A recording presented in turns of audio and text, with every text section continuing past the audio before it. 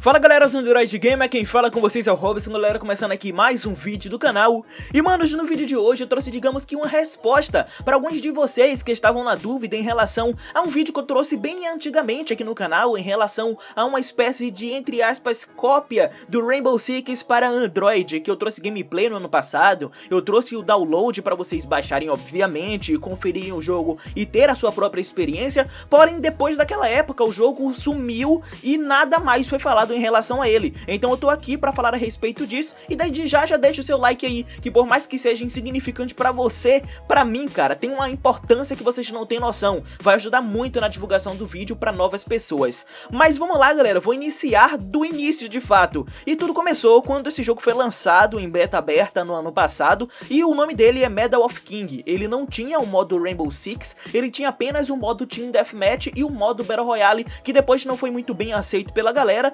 porém ele teve a brilhante ideia de trazer o modo Rainbow Six, que consistia na mesma ideia do Rainbow Six. Tinha o time que precisava defender os reféns e o time que tava ali só para poder cumprir com o objetivo e tava se cagando para os reféns. Então a ideia era essa. Quem tava de fora conseguia usar o drone logo no início para poder visualizar como que os CTs, digamos assim, estavam se aprontando dentro das casas e quem tava dentro das casas poderia reforçar as paredes para tentar dificultar ao máximo possível a entrada dos terroristas para dentro da casa. Porém, galera, por que, que o jogo sumiu? Acontece, galera, que se vocês forem no Tap Tap, inclusive vou deixar o link aqui na descrição, a página do jogo tá lá até hoje. Porém, o que também tá lá é um aviso de direitos autorais, galera. Pois é, provavelmente a Ubisoft não gostou nada da ideia desses desenvolvedores que não tem nenhuma ligação com a Ubisoft usar um modo de um jogo de sucesso da Ubisoft como é Rainbow Six. E se vocês forem ver lá no Tap Tap e traduzirem,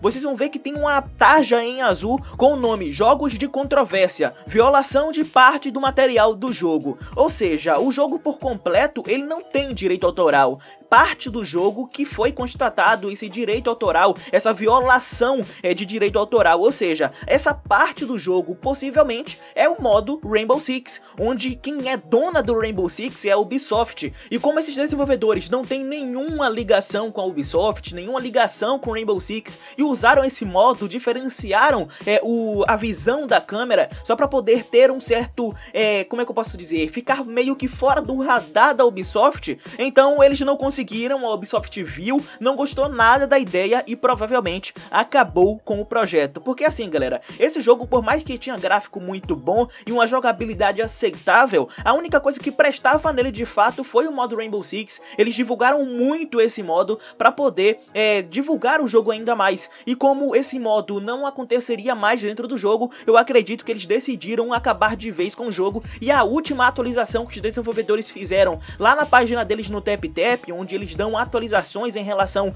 ao estado de desenvolvimento do jogo, foi feito no dia 3 de julho de 2018. Então tem muito tempo que eles falaram por uma última vez lá no TapTap e possivelmente eles não vão falar nunca mais, porque a Ubisoft deu, digamos que uma freada nessa ideia deles de darem um modo pra gente onde a Ubisoft, que é dona do jogo principal na qual eles se inspiraram, na verdade na qual eles copiaram na cara dura, não gostaram nada. Mas é isso, galera. Esse é mais um vídeo do canal, essa é a explicação pela qual esse jogo nunca mais foi atualizado, pela qual eu nunca mais trouxe vídeo dele aqui no canal. E é isso. Esse é mais um vídeo do canal, eu espero que vocês tenham gostado e que esteja esclarecido na mente de vocês o porquê que nunca mais foi falado dele aqui no canal. Deixa o like se gostou, compartilhe com seus amigos, até o próximo vídeo. Valeu!